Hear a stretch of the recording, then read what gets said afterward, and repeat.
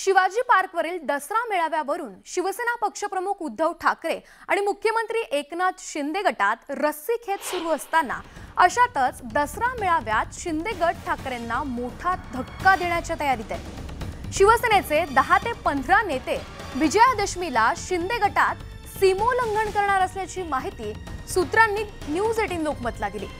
शिवसेनेच्या उद्धव ठाकरे यांच्या गटातील एक खासदार दोन आमदार आणि पाच माजी नगरसेवक शिंदे गटात जाणार असल्याची चर्चा आहे. या आठ लोकप्रतिनिधींसह एकूण दहा ते पंधरा शिवसेना नेत्यांनी शिंदे गटाचा रस्ता धरल्याचं बोलल्या जात आहे.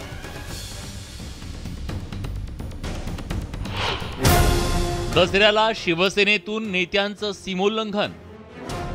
आणखी एक गट शिवसेनेसोबत जाणार. ठाकरे गटाचे बडे नेते शिंदेच्या संपर्कात. एकनाथ शिंदे गट उद्धव ठाकरेंना आणखी एक मोठा हदरा देण्याच्या तयारीत असल्याची राजकीय वर्तुळात चर्चा सुरू झाली आहे. दसऱ्याच्या मुहूर्तावर उद्धव ठाकरे गटातले मोठे नेते शिंदे गटासोबत जाण्याची शक्यता आहे. ठाकरे गटासोबत असलेले काही नेते एकनाथ शिंदेच्या गळाला लागल्याची माहिती समोर आली आहे. शिंदे गटातल्या सूत्रांच्या माहितीनुसार मुंबईतले एक खासदार शिंदे गटाच्या गळाला लागल्याची माहिती आहे. शिवाय शिवसेनेच्या मुकुटातला कोहिनूरही संपर्कात असल्याचं शिंदे गटातले नेते सांगतायत.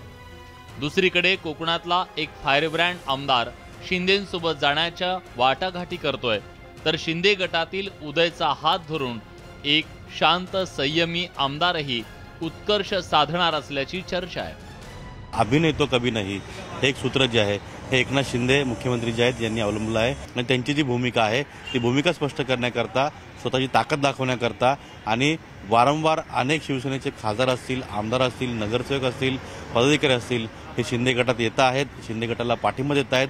हे दाखवण्याकरता दसरा मेळाव्याच्या दिवशी फार मोठी जय्यत तयारी सुरू आहे. दसरा मेळाव्याच्या दिवशी शिंदे गट जो आहे तो ठाकरे गटाला मोठा धक्का देण्या देण्याच्या तयारीत आहेत. दसऱ्याला शिवसैनिक रूपी ऊर्जा मिळवण्याचा उद्धव ठाकरे गटाचा प्लॅन आहे. पण या प्लॅनला शिंदे गट बहुतेक सुरुंग लावणार हे आता स्पष्ट होऊ लागलंय. दसऱ्याला पक्षफुटीचे फटाके फोडण्याचा शिंदे गटाचा हा मास्टर प्लॅन कितपत यशस्वी होतो हे लवकरच स्पष्ट होईल. Ajit Mandhare news eighteen Lokmat Thane. सध्या शिवसेनेचा दसरा मेळावा आणि शिवाजी पार्क हायजॅक करून कोंडी करण्याचा शिंदे गटाकडून प्रयत्न केला जातोय. त्याचाच एक भाग म्हणजे भाजपनं दसरा मेळाव्याचा हास्य जत्रा असा उपहास करून थेट दसरा मेळाव्यावरतीच प्रहार केलाय. पाहुयात एक रिपोर्ट. भाजप म्हणते शिवसेना म्हणजे पेंग्विन सेना. दसरा मेळावा नव्हे हास्य जत्रा. दसरा मेळाव्यावर भाजपचा प्रहार. शिवाजी पार्कवर दसरा मेळावा कोण घेणार? यावरून मुख्यमंत्री एकनाथ शिंदे आणि उद्धव ठाकरे यांच्यात रस्सीखेच सुरू आहे. शिवाजी पार्क शिंदे गटाला मिळणार की उद्धव ठाकरेंना मिळणार याकडे सर्वांचं लक्ष लागलंय. शिवसेनेत ही रस्सीखेच सुरू असतानाच भाजपनं उद्धव ठाकरेंना आणि दसरा मेळाव्याला टार्गेट करायला सुरुवात केली आहे. भाजपचे मुख्य प्रवक्ते केशव उपाध्ये यांनी शिवसेनेच्या दसरा मेळाव्यावरती निशाणा साधलाय. शिवाजी पार्कवर पेंग्विन सेनेला दसरा मेळाव्याला परवानगी दिली पाहिजे कारण बऱ्याच दिवसांपासून महाराष्ट्र हास्य जत्रेची वाट पाहतोय. उद्धव ठाकरेंना शिवाजी पार्कवर दसरा मेळाव्याची परवानगी मिळाली तर उद्धव ठाकरे सामान्य शिवसैनिकांना भावनिक साद घालण्याची शक्यता आहे या मेळाव्यातून संभ्रमावस्थेमध्ये आणि कुंपणावरती असलेल्या शिवसैनिकांना शिवसेनेतच थांबवून ठेवू अशी आशा ठाकरेंना आहे. त्यामुळंच शिवसैनिकांशी खुल्या मनानं संवाद साधेल असं उद्धव ठाकरे म्हणाले होते. मला जास्त काही भाषण करायचं नाहीये. दसरा मेळावा तर आलेलाच आहे तो तर घ्यायचाच आहे शिवाजी पार्कवरती त्यावेळेला मला जे काय बोलायचं ते बोलेल. आणि यावेळेला एक बरं आहे की आतापर्यंत मला मला बोलताना तोंडावरती मुख्यमंत्री पदाचा मास्क असायचा. त्याच्यामुळे जरा जपून बोलावं लागायचं. आता जे बोलायचं ते जे सुचेल त्यावेळेला ते बोलेल. शिवसेनेचा मेळावा झालाच तर त्यापूर्वीच शिवसेनेच्या दसरा मेळाव्याची खिल्ली उडवून त्याचं गांभीर्य कमी करण्याची भाजपची रणनीती आहे. शिंदे गटाकडून दसरा मेळावा आयोजनासाठी रस्सीखेच तर दुसरीकडे भाजपकडून होणारी बोचरी टीका अशा दुहेरी हल्ल्याला ठाकरे गटाला सामोरं जावं लागतंय. दसरा मेळावा म्हणजे हास्य जत्रा सांगून दसरा मेळाव्यातली हवा काढून टाकण्याचा भाजपचा प्रयत्न किती यशस्वी होतो हे येणाऱ्या काही दिवसातच स्पष्ट होत आहे दसरा मेळाव्याचा राजकीय फुगा फोडून उद्धव ठाकरेंचा राजकीय जनाधार तोडण्याचा प्रयत्न यशस्वी झाल्यास ठाकरे गटाला येणाऱ्या पालिका निवडणुकांमध्ये मोठी किंमत मोजावी लागण्याची शक्यता नाकारता येत नाही. व्हिडिओ जर्नलिस्ट प्रवीण शेट्टीसह मी Tushar Rupanwar. News eighteen Lokmat Mumbai. मुंबईत पालिका निवडणुकीआधीच संघर्ष तीव्र व्हायला सुरुवात झाली आहे. भाजपच्या बॅनरवर शिवसेनेनं लावलेली बॅनर्स हटवण्यात आली आहेत. यानंतर सुद्धा असा प्रकार झाला तर जशास तसं उत्तर देऊ असा इशारा भारतीय जनता युवा मोर्चाकडून देण्यात आलाय. तर शिवसेनेनं सुद्धा या प्रकरणावरून आक्रमक भूमिका घेतली आहे.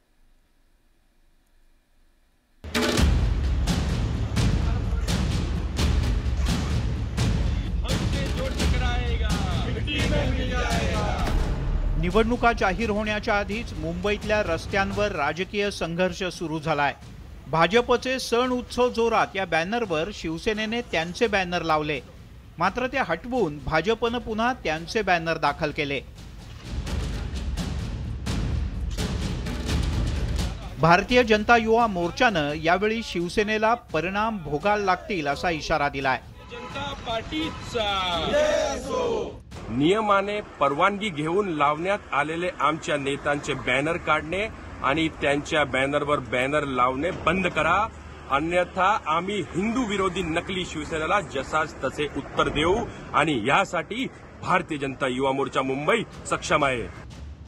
केंद्रीय गृहमंत्री अमित शहा यांनी मुंबईत येऊन कार्यकर्त्यांना मिशन एकशे पन्नासचा कानमंत्र दिला होता. त्याचे पडसाद आता उमटू लागल्याचं या बॅनर प्रकरणावरून स्पष्ट झालंय. मागच्या आठवड्यात भाजपचे नेते भालचंद्र शिरसाट यांनीही आरपारची भूमिका घेतली होती. पेंग्विनला वरळीत वाढणारे धार्मिक वातावरण असह्य झाले. आणि मग काय? हिंदुत्वाशी फारकतीचे संकेत देत त्यांनी रात्रीच्या अंधारात चक्क श्री गणेशाचे बॅनर्स पाडले भाजपनं बॅनर हटवल्यानंतर शिवसेनेकडून सुद्धा तिखट प्रतिक्रिया देण्यात आली. मुंबई महानगरपालिकेची निवडणूक शिवसेना आणि भाजपनं प्रतिष्ठेची केली आहे त्यातच राज्यात झालेलं सत्तांतर आणि शिंदे गटानं भाजपसोबत केलेली हातमिळवणी यामुळे राजकीय संघर्ष तीव्र होत चाललाय. परिणामी दोन्ही बाजूंनी संयम बाळगण्याची गरज आहे. कारण यामध्ये फक्त दोन्ही बाजूचे कार्यकर्ते भरडले जातील आणि नेते सत्तेचा सोपान चढतील. Bureau report news eighteen Lokmat. Dussehra मेळाव्याची शिवसेनेची परंपरा उभ्या महाराष्ट्राला माहिती आहे. त्यामुळे शिवतीर्थावर शिवसेनेचाच दसरा मेळावा होणार असा निर्धार शिवसेना नेते भास्कर जाधव यांनी व्यक्त केलाय. भाजपच्या नव्या सरकारच्या बॅनरवर शिंदेंना कुठेच स्थान नाहीये. त्यामुळे शिंदेंनी स्वतःची चिंता करावी असा टोला भास्कर जाधव यांनी लगावलाय. सध्या आपल्याबरोबर भास्कर जाधव आहे शिवसेना नेते आपण त्यांच्याकडून जाणून घेऊया. भास्कर जाधव साहेब आजच देवेंद्र फडणवीस यांनी सुद्धा उद्धव ठाकरे यांच्या शिवसेनेला शिल्लक सेना असा उल्लेख केलेला आहे. काय वाटतं आपल्याला त्यावर? कसं आहे की गणपतीसारखा उत्सव अतिशय धूमधडाक्यात सुरू आहे. आणि हा गणपती गजानन हा सुख करताय दुःख हरताय विघ्नहर्ता आहे. त्याच्यावर आमची श्रद्धा आहे आमचा विश्वास आहे. आणि म्हणून सातत्यानं अशा पद्धतीनं वाचाळ वक्तव्य जी भारतीय जनता पार्टीकडून होत आहेत मला असं वाटतं की गणगा गणरायाला मी प्रार्थना करतो की त्यांना सद्बुद्धी द्यावी. ते स्वतःचा पक्ष हा पार्टी विथ डिफरन्स असं म्हणून त्यांनी पन्नास वर्ष काढली. ती पार्टी विथ डिफरन्स म्हणजे त्यांची सभ्यता सज्जनता आणि त्यांच्या शब्दामधला जो काही समंजसपणा होता तो हाच होता की काय? अशा प्रकारचा संपूर्ण महाराष्ट्राला एक संभ्रम आणि विचार पडलेला आहे. मला असं वाटतं की आता जे काय बोलतायत त्यांना गणपती गजाननं त्या ठिकाणी सद्बुद्धी देवो. बाकी जे आहे ते गणपती गजानन माननीय उद्धवसाहेब ठाकरे यांच्याच पदरामध्ये दान टाकेल हा आमचा विश्वास आहे. हे अमित शहा जे आहेत भारतीय जनता पार्टीचे नेते आणि देशाचे गृहमंत्री ते एवढंच बोलले नाहीत. ते असं बोलले की भारतीय जनता पार्टी हे बंद दरवाजाआड कुठली चर्चा करत नाही खुल्या मैदानात करतात.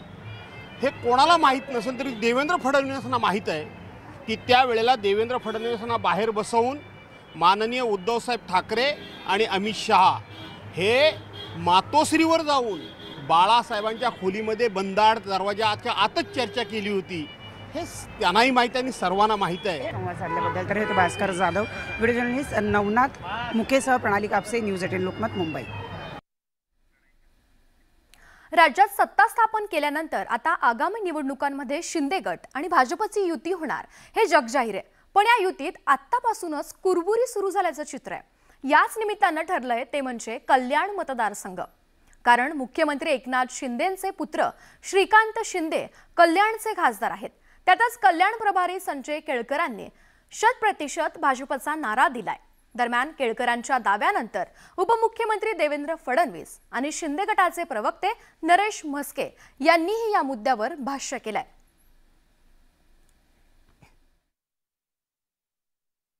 हे लोकसभा शंभर टक्के पूर्ण आमचे शतप्रतिशत तयार झाले पाहिजे. सर्व दृष्टीने पुढच्या लोकसभेसाठी.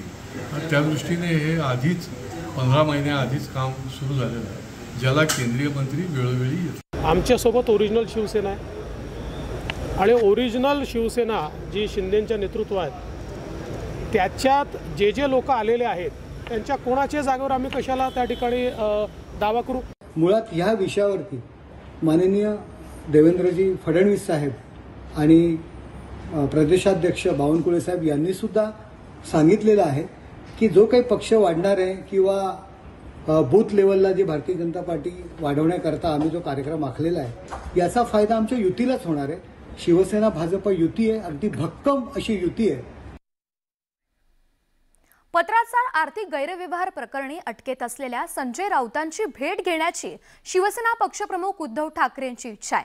उद्धव ठाकरेंना राऊतांना जेलमध्ये स्वतंत्रपणे भेट हवी आहे ही भेट घेण्यासाठी त्यांना कोर्टाची परवानगी आवश्यक आहे.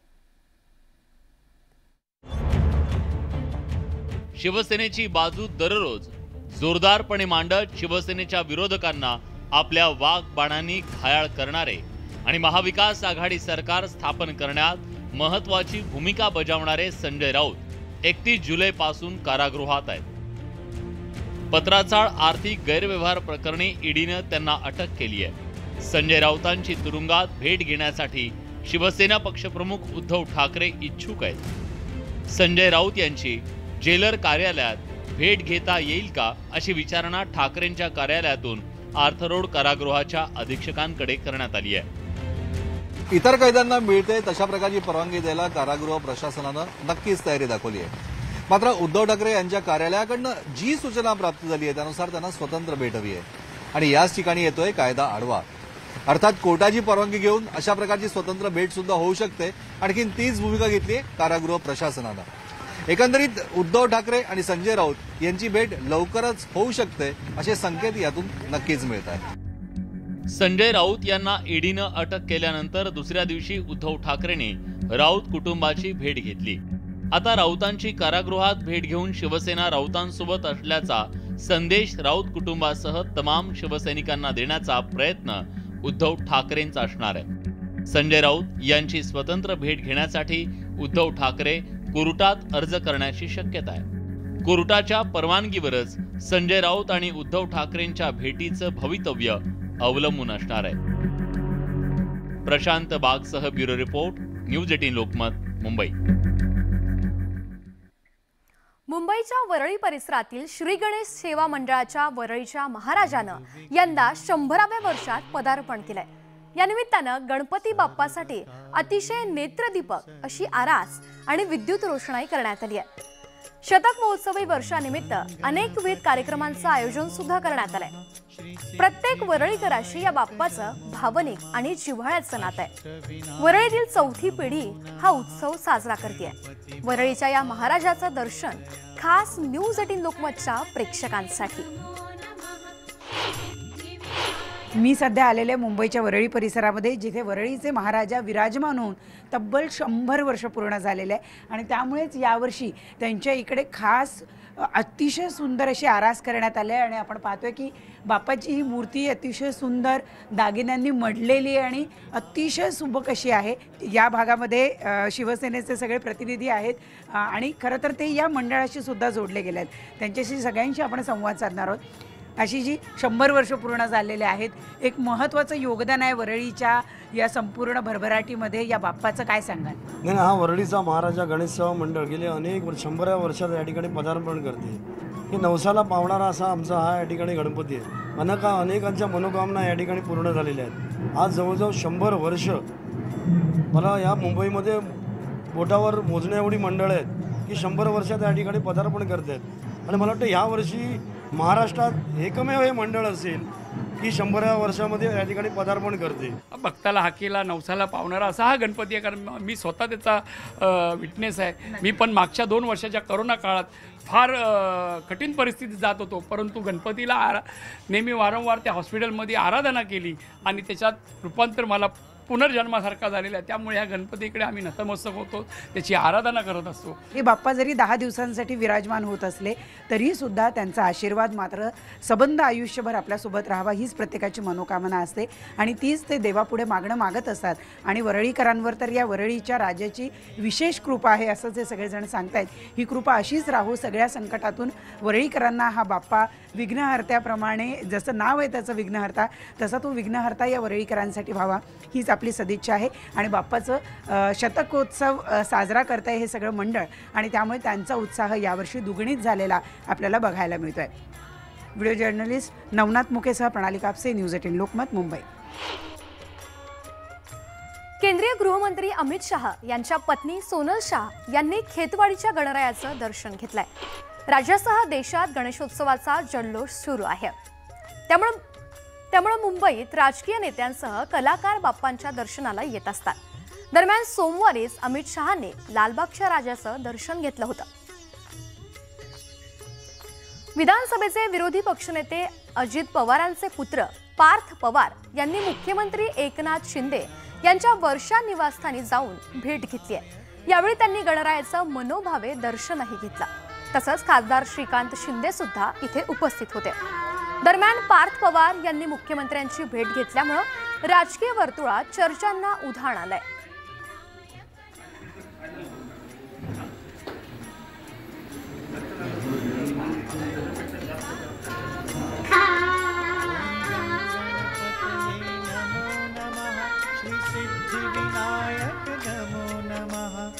अष्टविनायक नमो नमः मुंबईतल्या खेतवाडीतल्या बाराव्या गल्लीतील गणरायाचं दर्शन घेण्यासाठी भाविकांची मोठी गर्दी होती.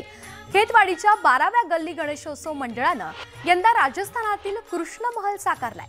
राधाकृष्णाची विविध चित्र इथं रेखाटण्यात आली आहेत. त्याचसोबत राजस्थानच्या संस्कृतीचं दर्शन सुद्धा या ठिकाणी घडत आहे गणेशोत्सवात एक आकर्षण असतं ते म्हणजे सार्वजनिक बाप्पाचं दर्शन घेणं. मुंबईची खेतवाडी यासाठी प्रसिद्ध आहे आणि खेतवाडीच्या बाराव्या गल्लीतील खेतवाडीच्या गणराजाच्या दरबारात आज आपण आहोत. हा दरबार खरं तर याला राजस्थानी महलाचं रूप दिलं गेलेलं आहे. वरती जे झुंबर तुम्ही पाहताय ते सुद्धा अतिशय सुंदर आहे. लाल कापडानं ला- या संपूर्ण महलाला एक वेगळं रूप दिलं गेलेलं आहे. इथं कृष्ण महल साकारण्यात आलेला आहे. त्यामुळे कृष्णाच्या वेगवेगळ्या छटा आपल्याला पाहायला मिळतात राधाकृष्णाची काही छायाचित्र आहेत. काही वेगवेगळ्या प्रकारचे प्रसंग इथं साकारण्यात आलेले आहेत श्रीकृष्णाचे. आणि त्याचसोबत गणराजाचं हे सुंदर रूप आपण पाहतोय. बाप्पाचं हे रूप पाहण्यासाठी लाखोंच्या संख्येत भाविक इथं येत असतात. दिवस रात्र इथं भक्तांची मोठी रीघ लागलेली असते. खरं तर मुंबईत गणेशोत्सव मंडळांच्या मोठमोठ्या मूर्ती पाहण्यासाठी मोठ्या संख्येत लोक येतात. आणि विशेष करून खेतवाडीमध्ये अशाच मोठमोठ्या उंच अशा मूर्ती दरवर्षी साकारल्या जातात. आणि दोन वर्षानंतर बाप्पाचं हे भव्य दिव्य सुंदर असं रूप सर्व भक्तजनांना हे कोणत्याही नियमांविना पाहता येणार आहे. त्यामुळे सर्वजण यासाठी उत्सुक आहेत. भास्कर परब आपल्यासोबत आहेत. दादा काय सांगाल? दोन वर्षानंतर इतका मोठा प्रतिसाद मिळतोय. कारण काय पब्लिक बी घरात बसून बसून करोनाखाली बोर झालेली आहे. आणि जे आता आम्हाला बी एवढा आश्चर्य झाला की दोन वर्षानंतर अशी पब्लिक कधी बघितलीच नव्हती. कारण एकमेकावर तुटून पडले गणपती बघायसाठी. यंदा बाप्पाच्या सजावटीसाठी जो कृष्ण महल साकारलेला आहे त्याबद्दल तुम्ही काय सांगाल? कृष्ण मिळता थमिंग आमच्या डोक्यात असा आला की जेव्हा आता इकडे मथुरामध्ये काय चालू आहे लपडे तर आम्ही बोललो की मथुराचा जे लपडा आहे तर आम्ही कृष्णमहल का ना उभारू? पहिला आमचा अयोध्याचा होता. मग अयोध्याचा आता सर्वकडे चालू आहे पण कृष्णमहल अजूनपर्यंत कोणी म- बनवला नव्हता. करून आम्ही कृष्णमहल या याच्यासाठी निवडला आहे की लोकांना एक नवीन काहीतरी दिसला पाहिजे कृष्णामहल होता करून. तर राजस्थानच्या राजवाड्यामध्ये एक असाच कृष्णमहल आहे. याच्या अगोदर मी बा बाहुबलीचा महल बनवलेला. आहे बाहुबली नंतर राणा विश्वप्रताप यांचा बी महल बनवलेला. आम्ही मोस्टली राजस्थान जयपूरचेच महल बनवतो. व्हिडिओ जर्नलिस्ट वसंत केरेकर सोबत रुचा कानोलकर न्यूज एटीन लोकमत मुंबई. ब्रेकनंतर आपलं पुन्हा एकदा स्वागत. बातमी आहे पावसासंदर्भातील. मागील अनेक दिवसांपासून विश्रांती घेतलेल्या पावसानं पुन्हा एकदा जोरदार हजेरी लावली आहे. कल्याण उल्हासनगर भिवंडी आणि पनवेलला पावसानं चांगलंच झोडपलंय. भिवंडी शहरातील बाजारपेठेत अनेक दुकानात पाणी शिरल्यानं व्यापाऱ्यांची तारांबळ उडाली होती. तर कल्याणमध्ये सुद्धा विजांच्या कडकडाटासह जोरदार पाऊस बरसलाय. कल्याणच्या बाजारपेठेत अनेक ठिकाणी पावसाचं पाणी साचल्याचं पाहायला मिळालं. उल्हासनगरमध्ये सुद्धा जोरदार पावसानं हजेरी लावली आहे पनवेलला सुद्धा पावसानं चांगलंच सोडपलंय